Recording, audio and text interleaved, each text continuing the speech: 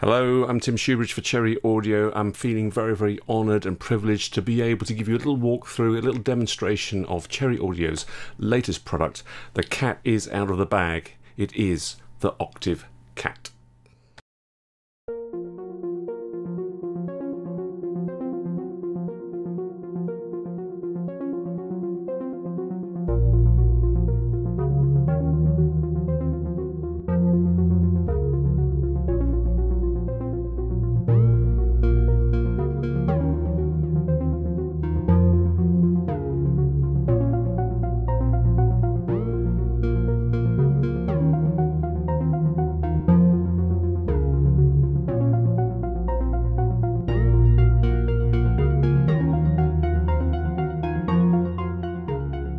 So the original CAT analog monosynth from Octave Electronics dates back to the mid 1970s, 1976 I think it was.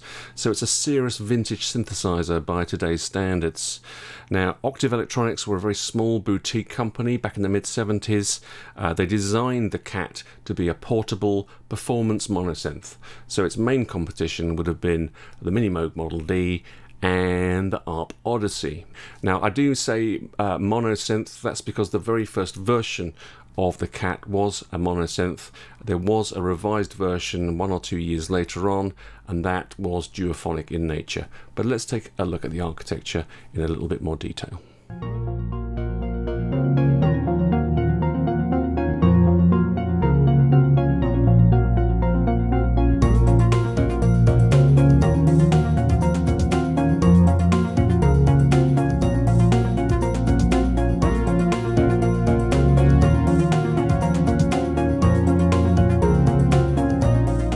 Terms of oscillators, we've got two of them as you can see here, two VCOs on the CAT. In terms of waveforms, for VCO number one, we've got a choice of three. We've got a sawtooth, triangle, and a pulse wave. And for VCO number two, we've got a square wave and a sawtooth. Now rather than having simple switches to switch between those waveforms, as you can see we've got these sliders which means that we can blend waveforms together for both oscillators and it really does open up the sonic capabilities of this synthesizer. And as well as being able to blend in those different waveforms, each of the oscillators has got its own sub-oscillator. So you really can get some wonderful beefy basses and leads out of this synth. And it's one of the main reasons why musicians loved the sound of this synthesizer so much.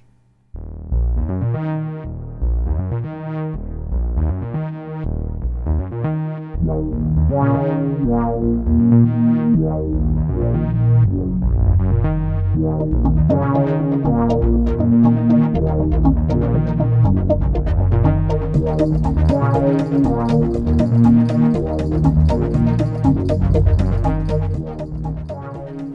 moving on to the filter. Not a lot to say about the filter. It is a 24 dB four pole low pass filter.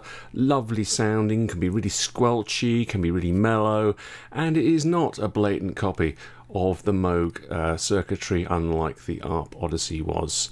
Uh, and it's self oscillating, so it can do things like this.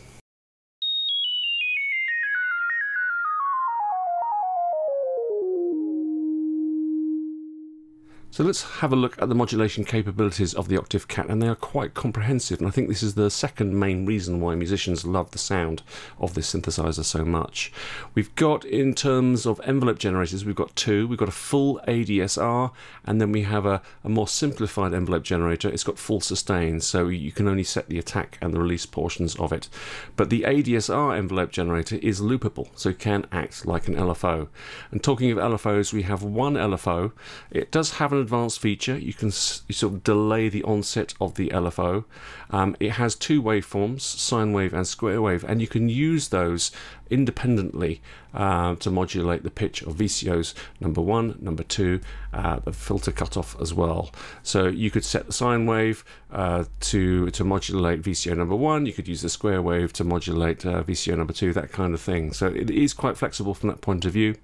Uh, we can also choose which of those envelope generators we want to use to modulate the pitch of the, both VCOs and the filter cutoff as well, as well as the VCA. So we've got the choice of the two envelope generators for the VCA, or we can bypass the envelope generators altogether for drone kind of sounds. Um, what else have we got? We've got a sample and hold circuit. Uh, we have a noise uh, circuit as well, which I didn't mention. So the noise can be the source for the sample and hold, but we can also use VCO number one uh, or VCO number two to be the source of the sample and hold. And the sample and hold has got a glide feature built into it. Uh, what else have we got? I mean, there's quite a lot going on here. Sample and hold can be used to modulate the pitch of the uh, oscillators uh, or the cutoff of the filter um, rather than using the LFO if you want to. There's a lot going on here. Um, I didn't mention, but we've got cross mod between the two VCOs. Uh, we can uh, modulate VCO number one with number two and number two with number one. Um, and we can also use VCO number one to modulate the cutoff frequency of the filter as well. So you can get those kind of sort of dissonant, sort of bell-like tones out of this synthesizer. It really is quite flexible in terms of what you can do with it. And there's probably some stuff there that I haven't mentioned I've forgotten about.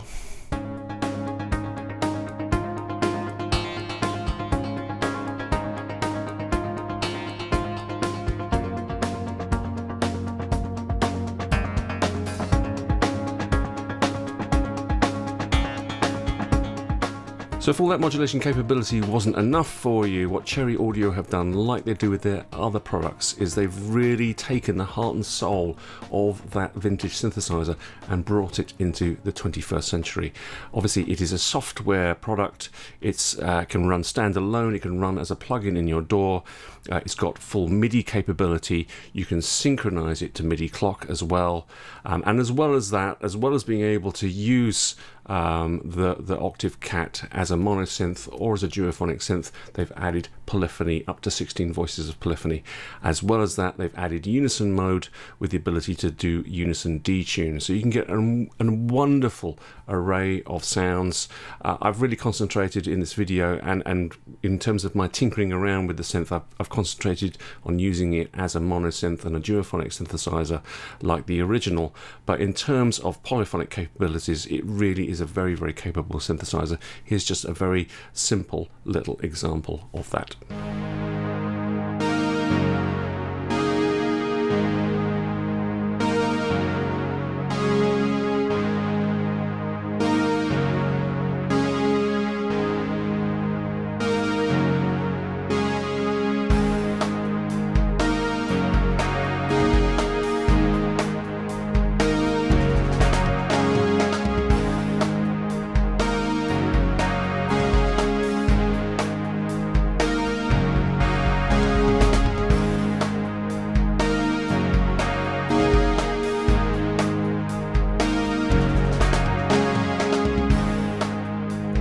Wasn't enough to have polyphonic capability and a unison mode, what Cherry Audio have also done is add to the synthesizer MPE capability.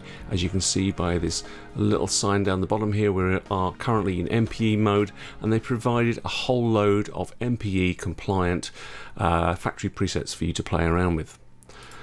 And if that is still not enough for you, we've got a second sort of hidden panel of controls on the synthesizer, which we can switch to just by clicking there like that.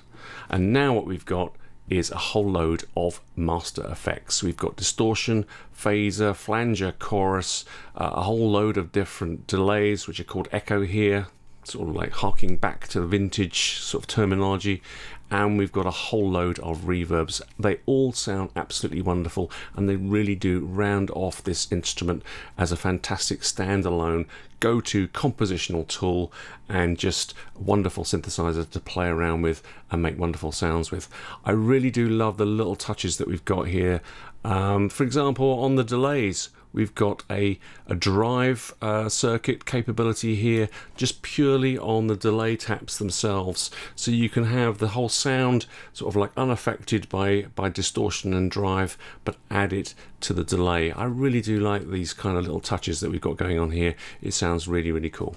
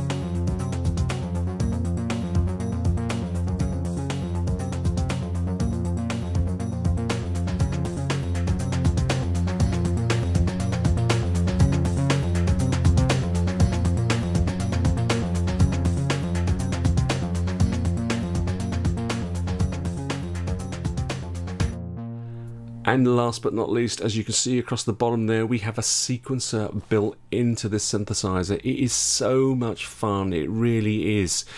Maximum of eight steps, but it's two sequences, one above the other. You can use it to modulate the pitch of both the oscillators together, as you'd expect, or independently so that they play different notes.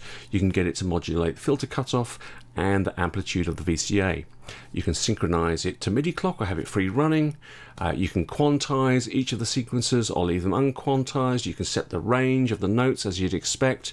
And you can actually gate the sequencer, control the start and the stop by the notes that you play, the MIDI notes that you send to it. And this really is a load of fun when you take it and you use it as a plugin inside your DAW because then what you have is a, a, little mini sequencer inside a bigger sequencer. And so you can get some really interesting predictable or also unpredictable results. It's a load of fun. It's a really brilliant idea to have a sequencer like this built into the synthesizer